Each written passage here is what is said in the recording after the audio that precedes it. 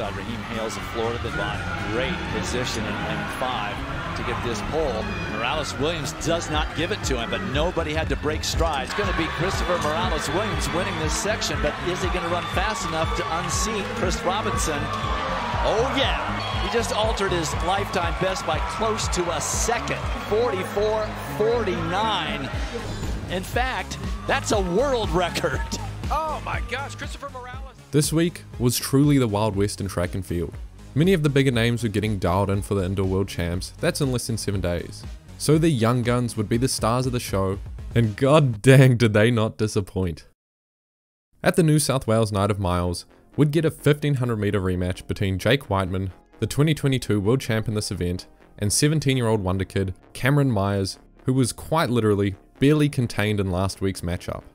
He had learned from his mistakes, bleeding around the final bend and coming home to some of the finest Australian race commentary up for offer.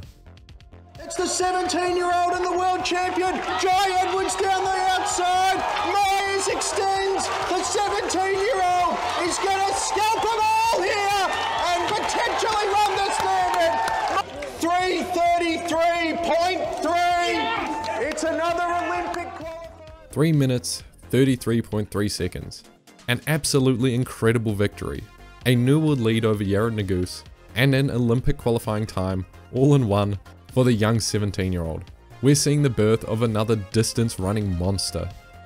Now over in France, Mondo Duplantis would decimate a top field by 10 centimeters, winning out with a clean vault of 6.02 meters.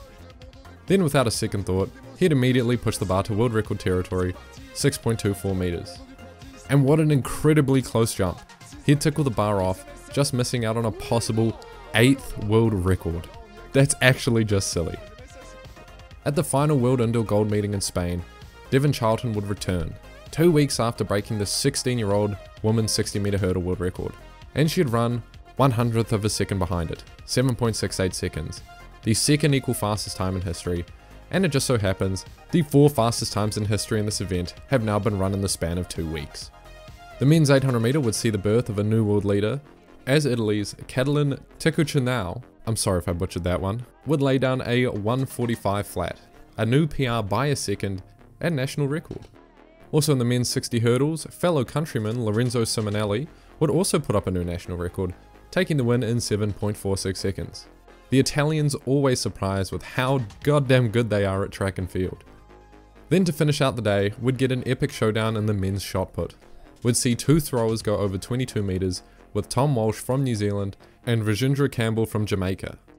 In his final attempt, Campbell would edge out the win, having to break Jamaica's national record in the process with a 22.16 metre throw, also going number 12 on the indoor all-time list.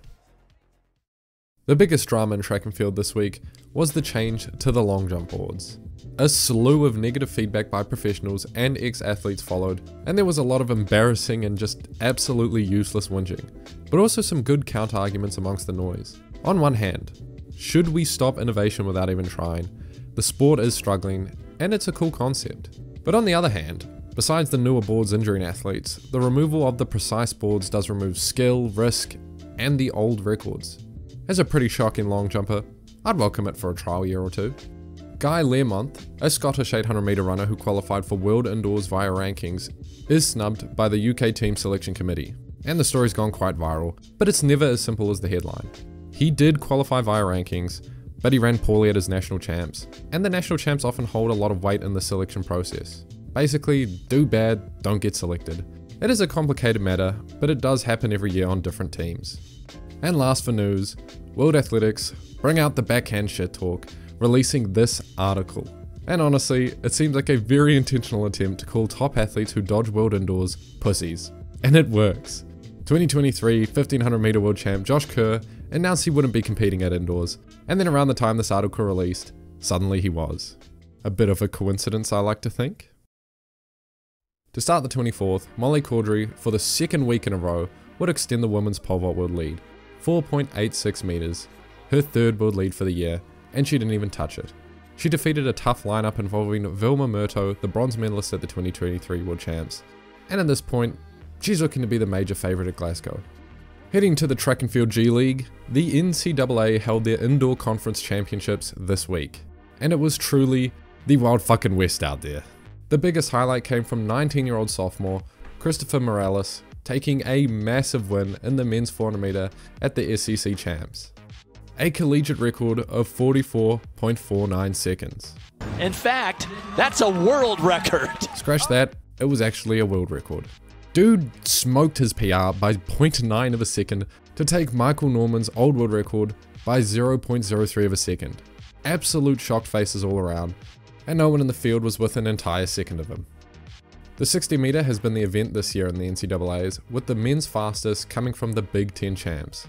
Cheickna Traore would beat out rising star Kalen Walker and the men's 60 6.54 seconds. Traore was previously a Div 3 athlete and has been going crazy this season. Shout out to Coach Rob for the video on this fella. He would also happen to double up at the champs, taking the 200 meter title as well, 20.44 seconds, although this was on an indoor 400 meter track, which before today I had no idea existed. The fastest women's 60 out of the NCAA champs would come from 19 year old Brianna Lyston. She's a Jamaican national representing LSU and ran a 7.08 seconds, winning the SEC title convincingly. She ran the fastest time across all conferences, and still, not even a personal best. At the Big 12, Texas Tech edges closer and closer to world domination. They would take 1, 2, and 3 in the women's 60 meter final. Chukwuma, Colbert, and Umakoro sweeping in times of 7.23, 7.26, and 7.28. Although, they did run faster in the heats. The Texas Tech men would copy their homework, but change it a little. In qualifying, 6 out of the top 7 times would be dominated by them. Caleb Dean leading with a 6.52. But in the final, the times wouldn't be as fast, and Terrence Jones would false start. Dondre Swint would end up taking the win in 6.55, and Maswanganyi would break up the Texas Tech sweep, taking second in 6.6, getting some filthy looks while he was at it. In the 200, Terrence Jones would be back with a vengeance, dominating in a time of 20.21 seconds, an equal world lead with prodigy Erriyon Knighton, and a new giant personal best. This race really proved given the opportunity to run the 60, he was more than in form. Maswanganyi again denied a W for the day, who ran 20.41 the heat prior, and a South African record for himself. At the ACC Champs, Cameron Rose took the men's title in the 60. Good start for Cameron Rose, though, in lane number two. Here comes Iscano as well. Look at Keyshawn Black trying to get... But what the fuck was that? 6.58 for... come on. This isn't the first time we've seen what looks like a definite false start go by in the NCAA. They really need to tighten up on this shit. The highlight of the SEC champs would be freshman domination. Kanyinsola Ajayi, a 19 year old Nigerian native, repping Auburn, takes the 60 meter title in 6.60 seconds. While JaMeesia Ford, a 19 year old freshman at South Carolina, would convincingly win the 200 meter title in a 22.36 second time, tying her PR and the fifth fastest all time at the NCAAs.